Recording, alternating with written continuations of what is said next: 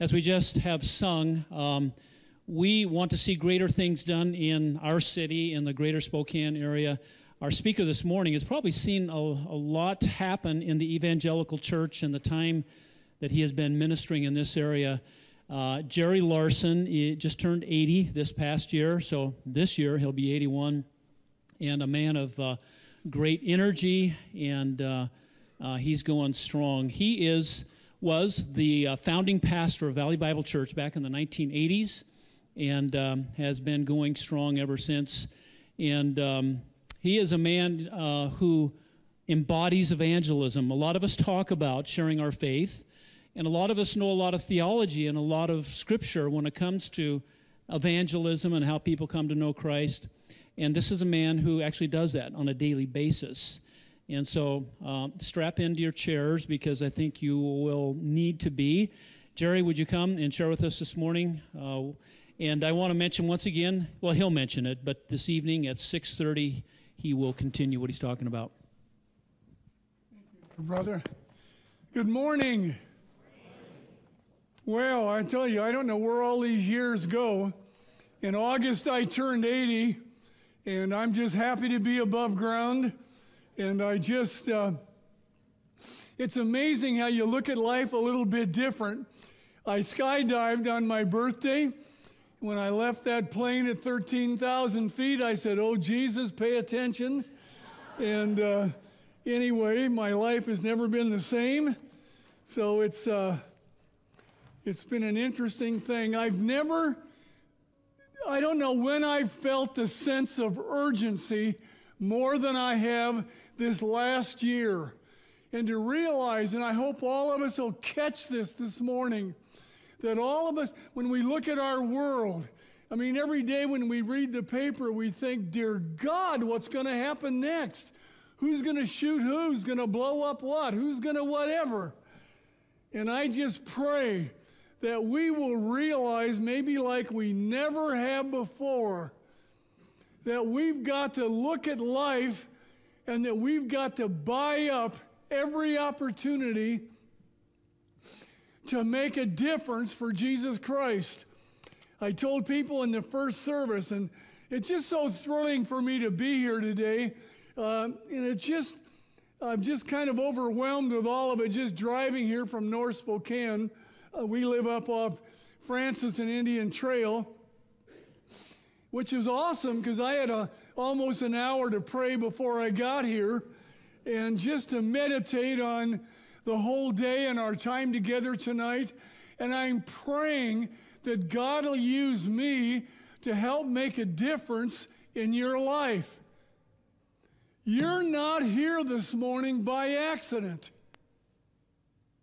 Amen? You're here by divine appointment. And God has something to say to you this morning. Amen? That's so weak.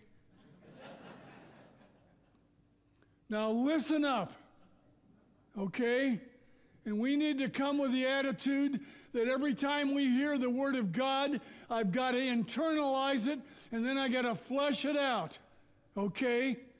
And sometimes we just come and that's not our attitude, you know, and that's sad.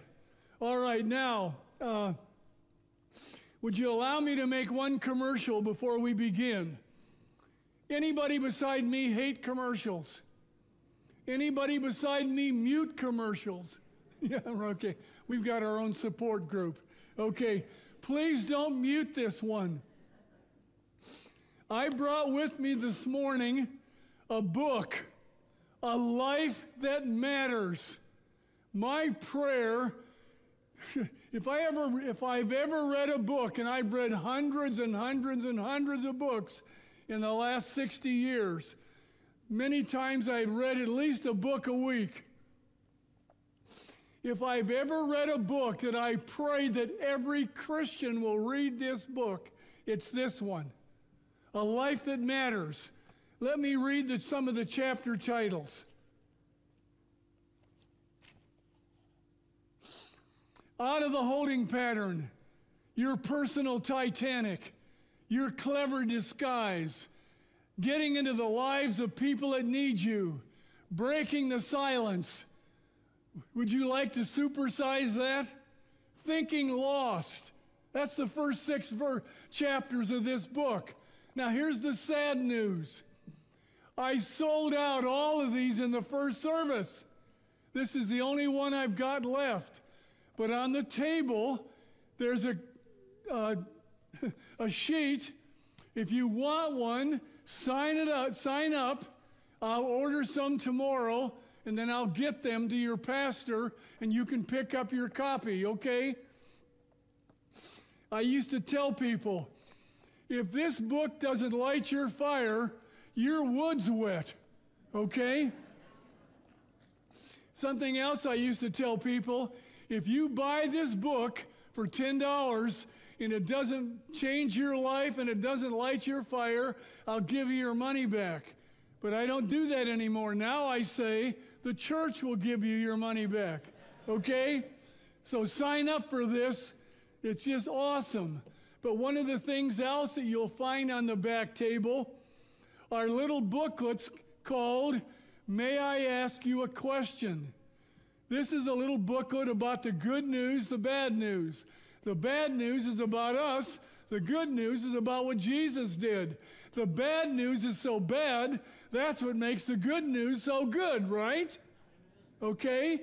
And what all of us need is how to present it in a simple way. This is, and I've gone through hundreds of stuff.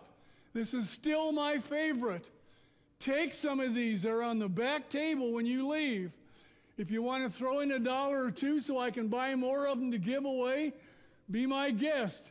If you don't, just take some and let God start to use you this year. Okay? I want this to be the greatest year in our life. I mean, I'm at an age now where I'm sniffing glory, folks.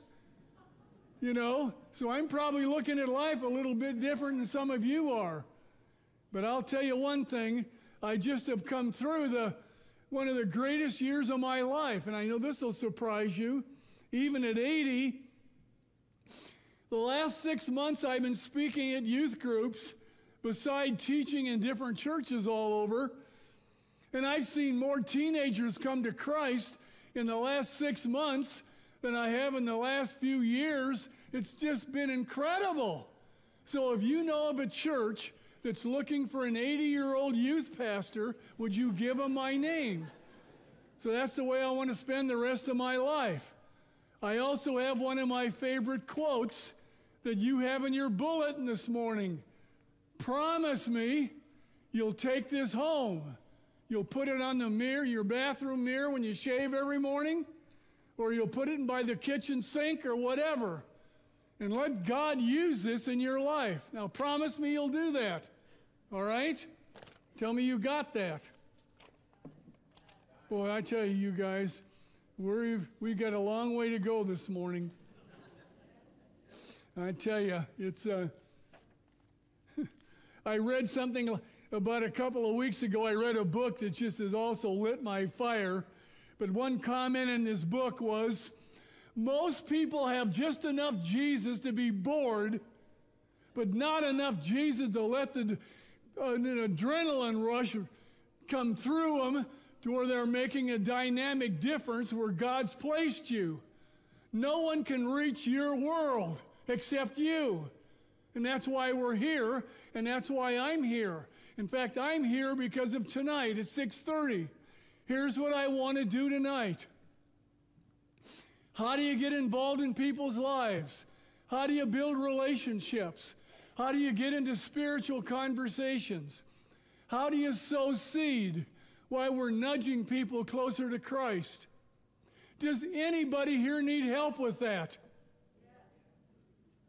Does that mean you're going to be here tonight?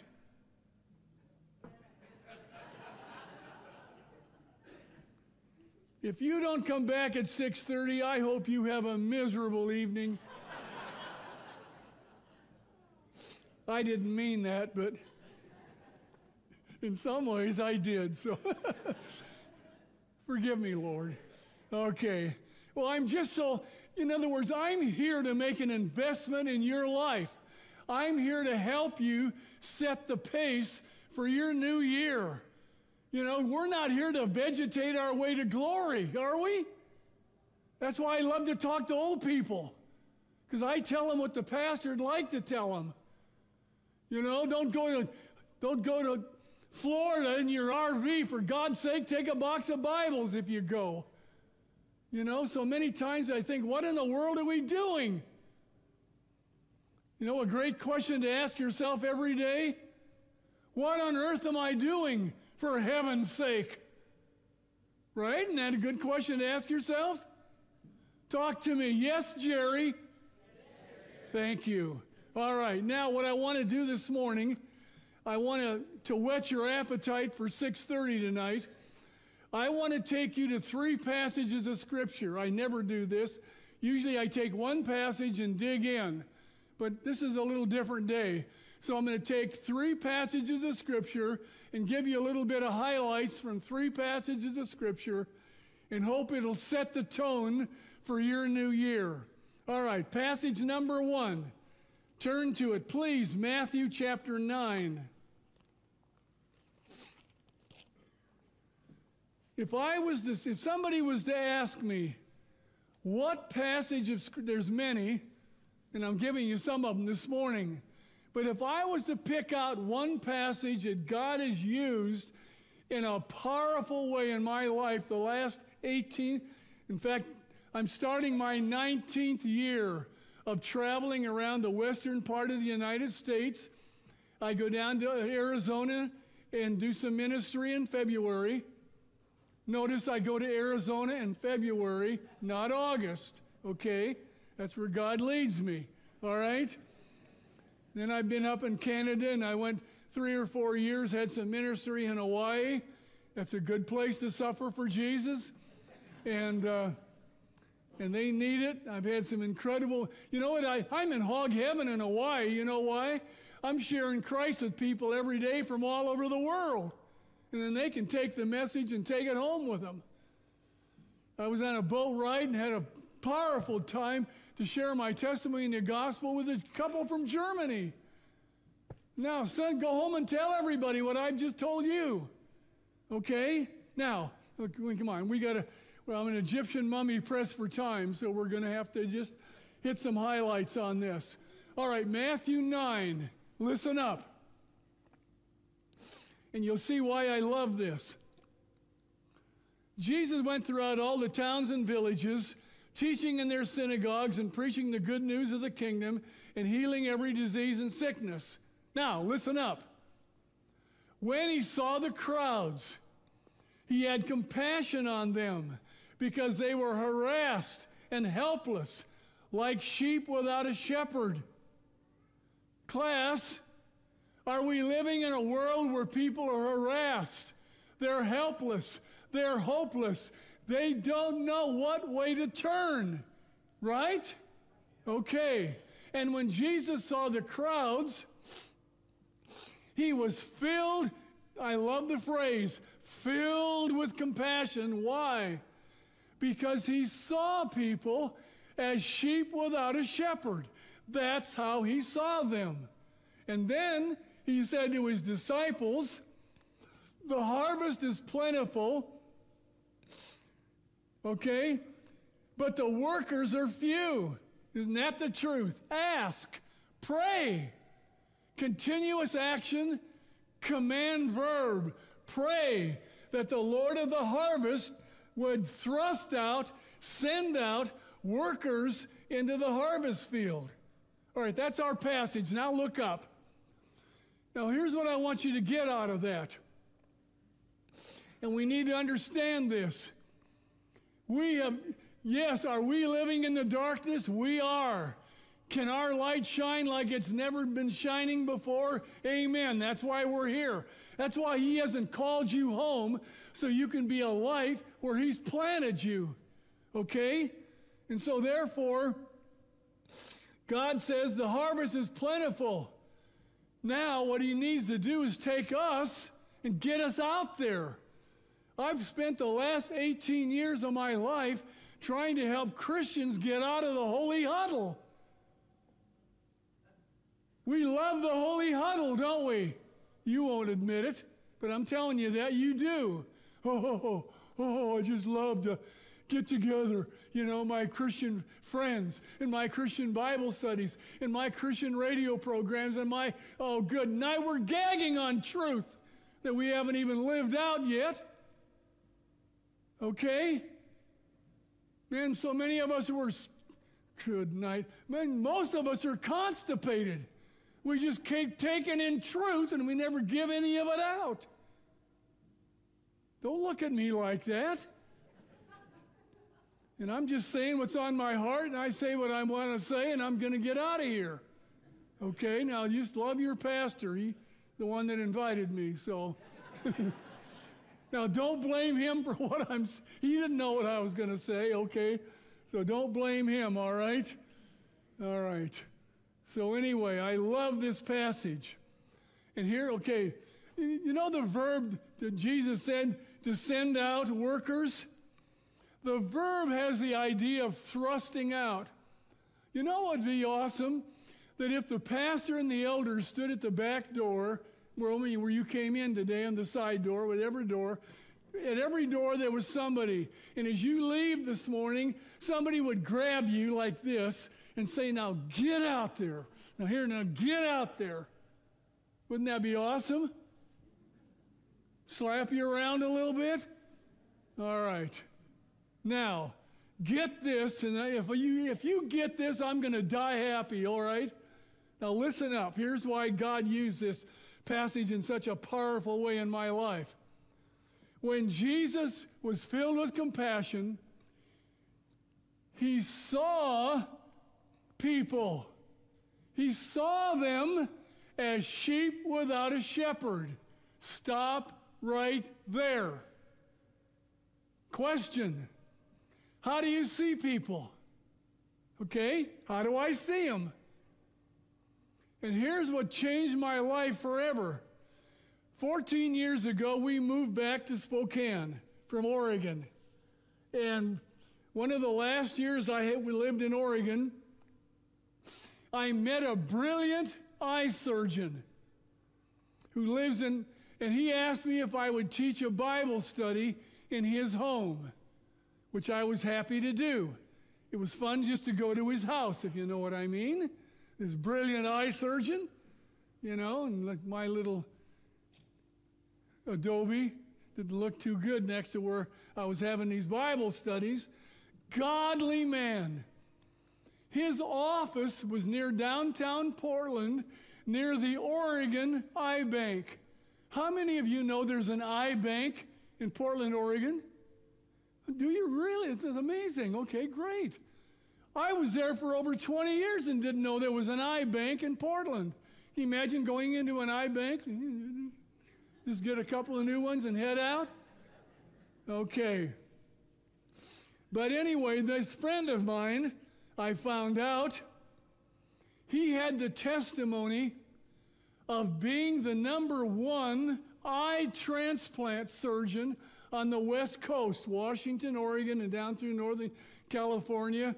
Anyway, and he was brilliant at cornea transplants. And then one day it hit me like a ton of bricks. Here was a man that I was studying in his home with him. And he was a gifted at eye transplants. And you know what hit me like nothing has ever hit me before? Jesus, I need a divine eye transplant so I can start to see people like you do as sheep without a shepherd. And it's changed my life. Before we moved back here, I was coming home from golfing and I drove by a big high school. When was the last time you drove by a big high school? Saw some of those strange creatures? No, you know what I mean. Anyway, you see some of the hair, some of the clothes, and you think, might they buy clothes with holes in them? I mean, have times changed, folks? You know? Okay, beside that, but I love high school kids. I could spend the rest of my life with high school and college kids.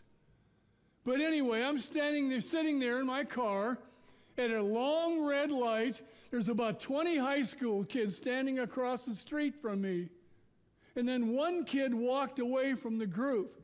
And as he walked away, I noticed he had a ring through his nose. It hung all the way underneath, big. It hung all the way underneath his chin, through his nose, under his chin, and he's walking along like this, eating potato chips.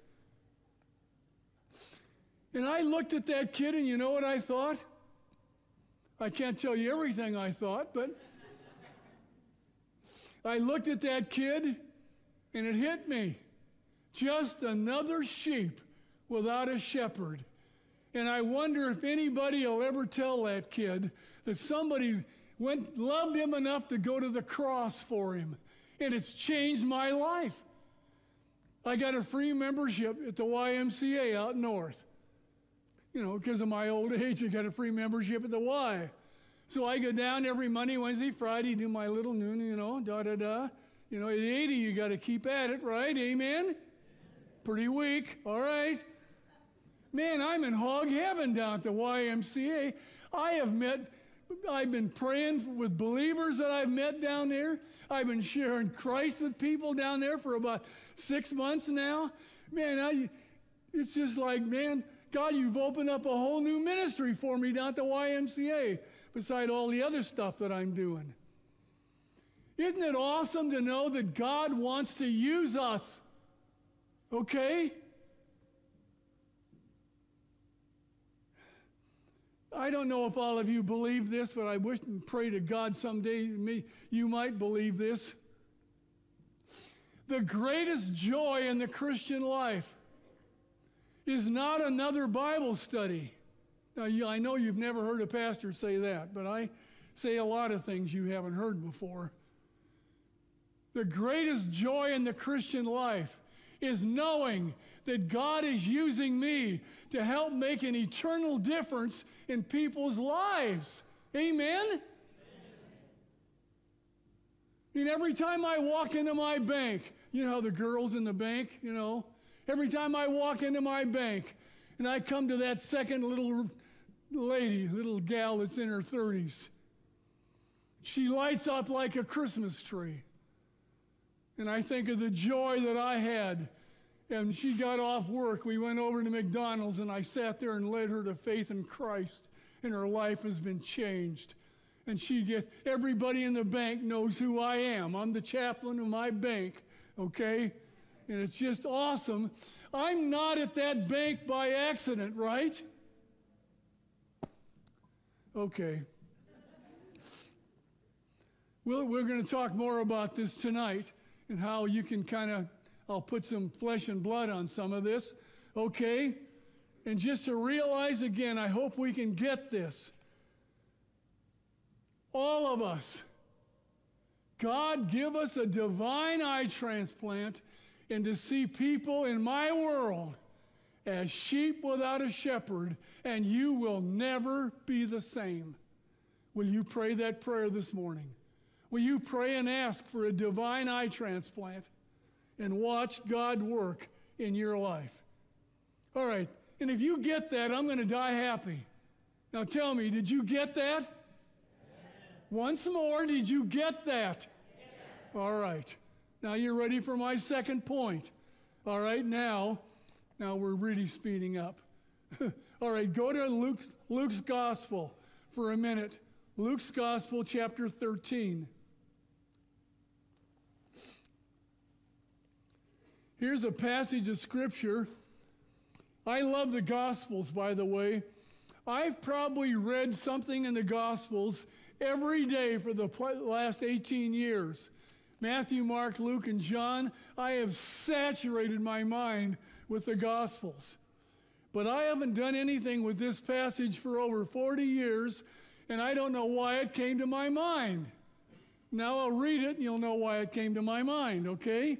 Now, I'm not going to interpret this passage, but I want to apply it. All right, now, if you got there, tell me you're there. Luke 13.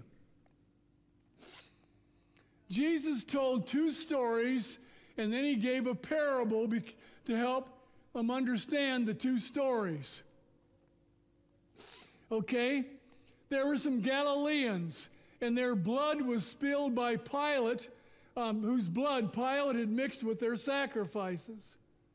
In other words, here's some, okay, listen to me now. There were some Jewish people, and they were offering their sacrifices.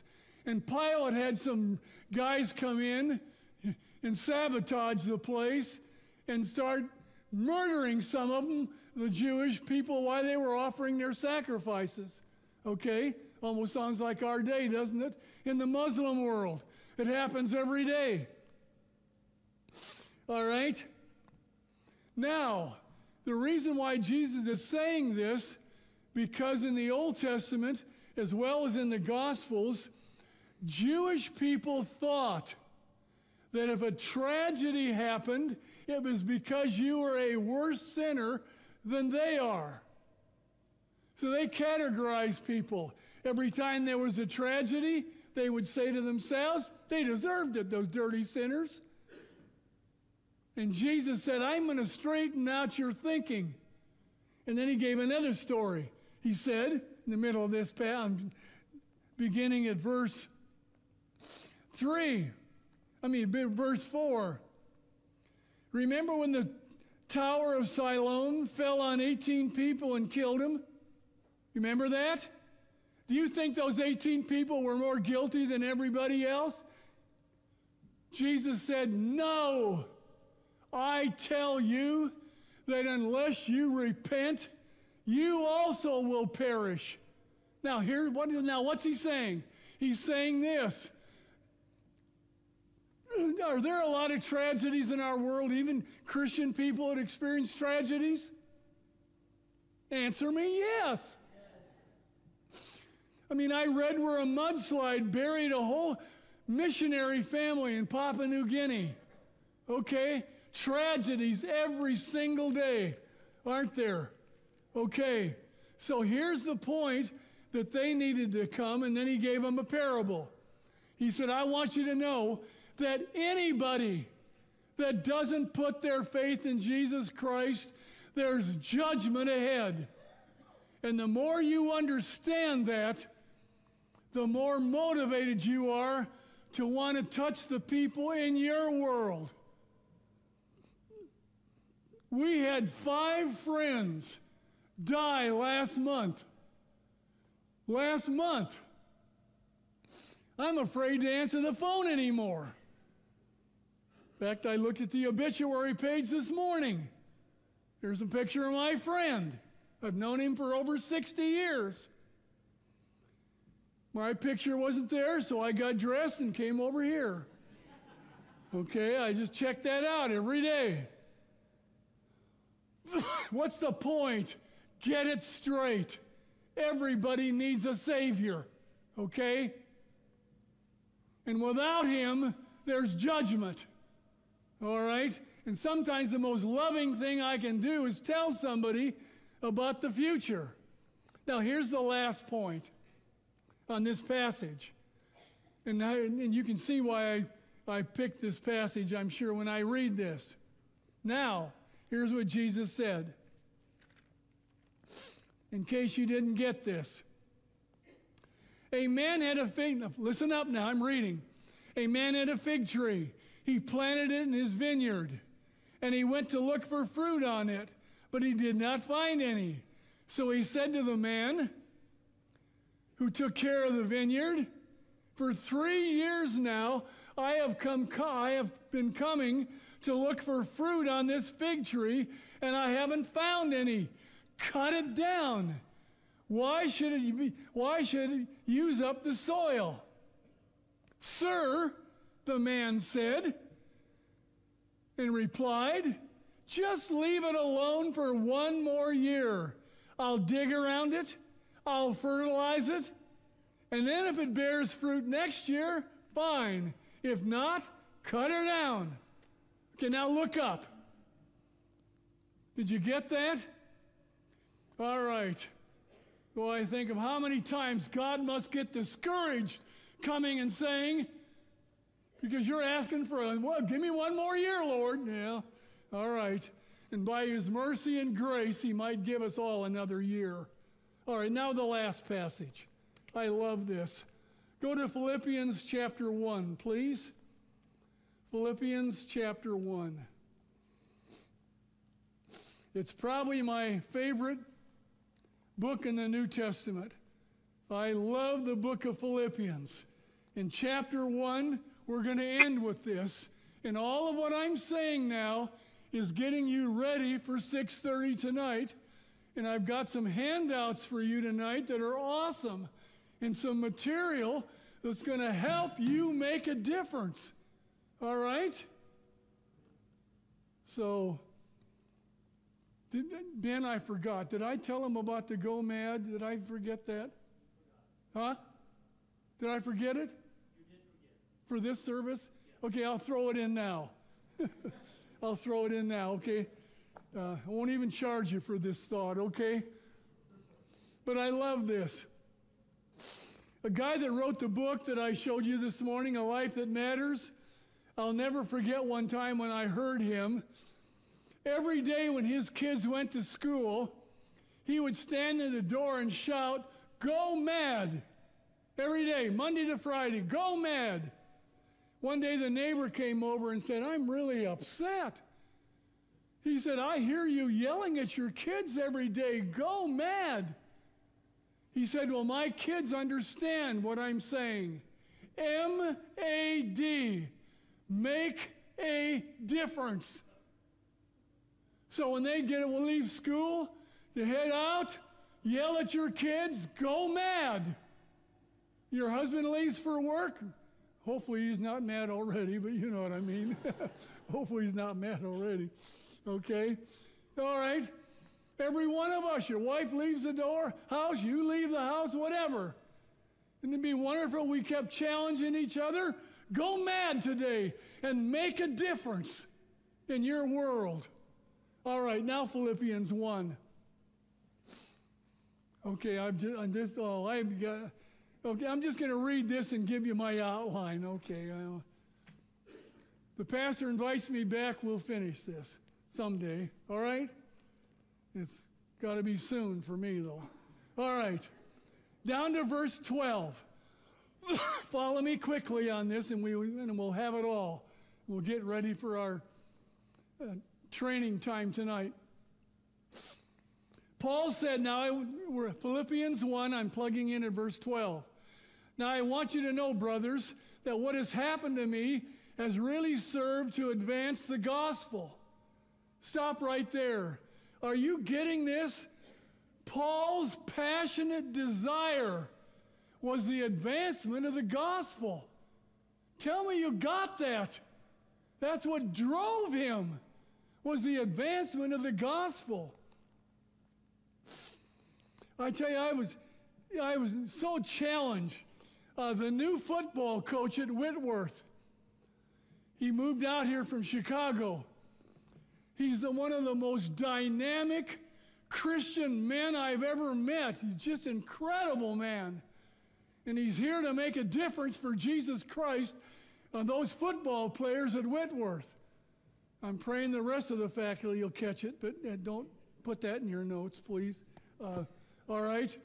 Now, he invited me to a meeting out at Whitworth. And three men came out from Chicago that were from Wheaton, Wheaton College.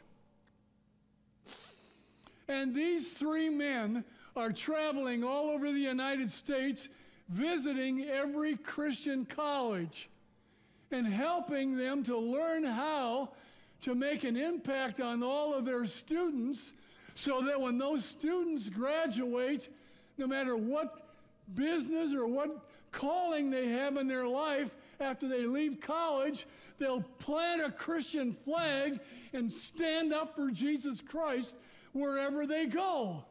And they're trying to help them with this. And do you know what all the Christian colleges have told these three men so far? I think they have visited anywhere from 12 to 18 colleges as they travel all over the United States.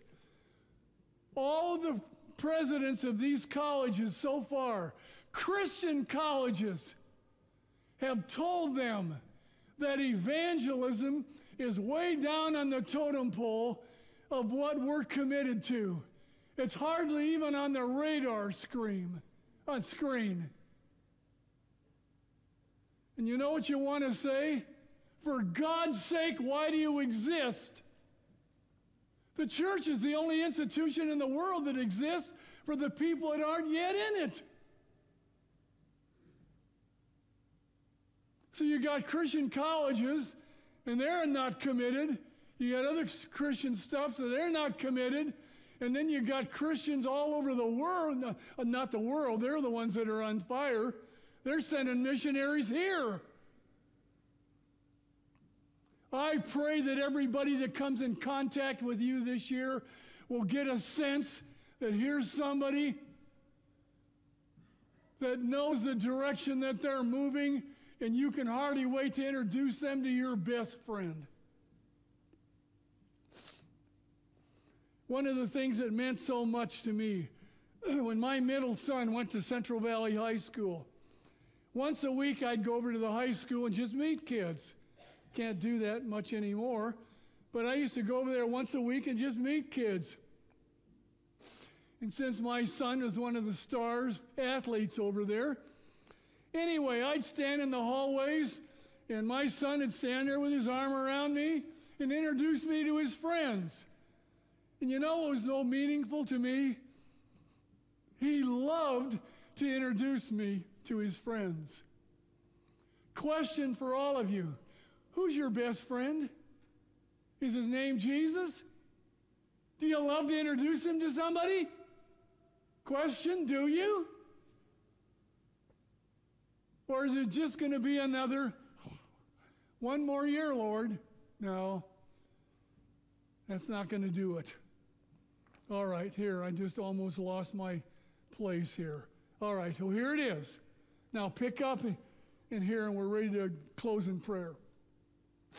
Now, Paul said, I'm in chains, and most of the brothers in the Lord have been encouraged to speak the word of God more courageously and fearlessly. In other words, Paul said, I'm in jail. All right? Now, some people think, well, that's kind of discouraging. Paul's in jail. No, he's, they weren't discouraged. Paul said, I'm in jail.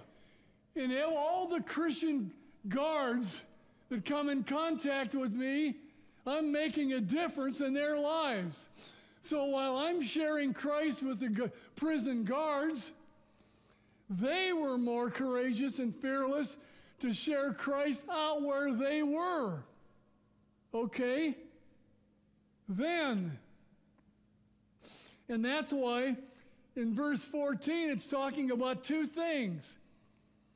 The believers were courageous and they were infectious. Paul said, Every time I sneeze, somebody catches a gospel cold.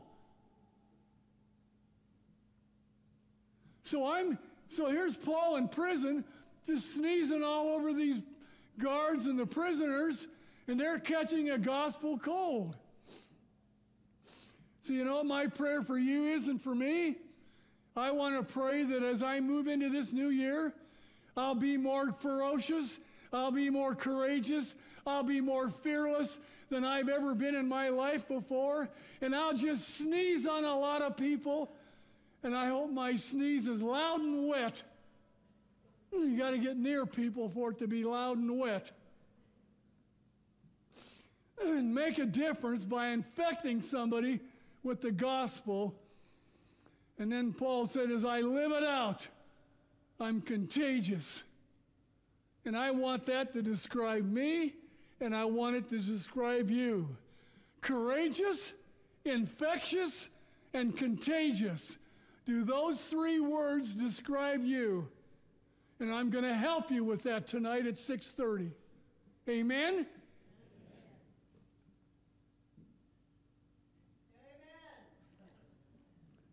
Thank you.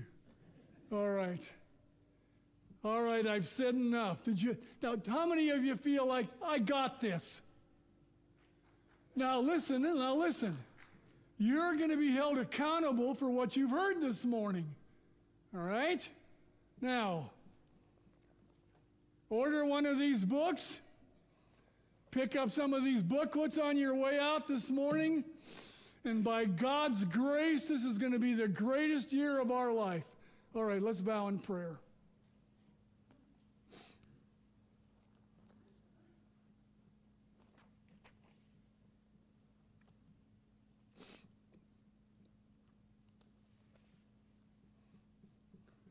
As we close in prayer, uh, I feel led to do this. For 20 years, I went to church. I had church and I had religion, but I didn't have Jesus. And so many times, so I believed it all intellectually, but I'd never had a conscious, willful choice to ask Jesus Christ to forgive me, be my Savior. Have you done that? When did you do that?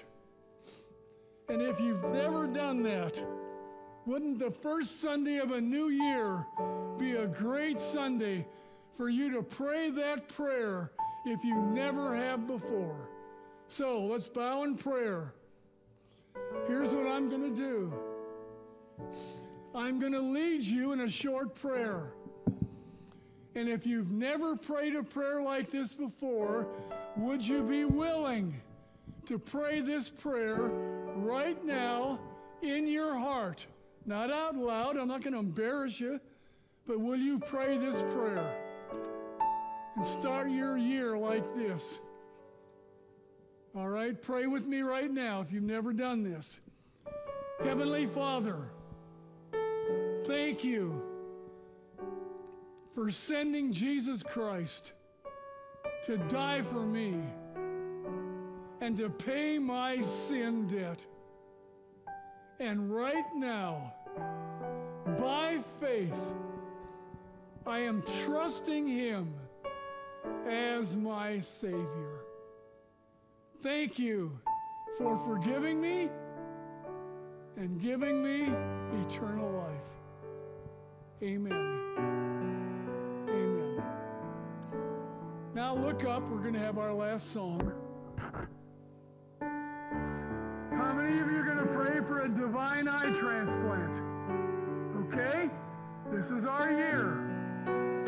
I be brave enough to ask you this?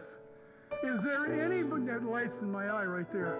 Is there anybody here this morning that prayed right now, you prayed with me and asked Christ to forgive you and to be your Savior? Anybody here do that this morning? You're brave enough to say, I did that. Anybody? Anybody do that? I can't see out there. I pray that somebody did. All right? And how many of you are going to say, enough excuses, Lord. This is my year to go mad and make a difference in my world like I never have before because that's why God left you here. All right, God bless you. Have an awesome day. We'll see you at 6:30, won't we? Won't we? Amen. All right, thanks for having me. Thanks. Thank you, Jerry.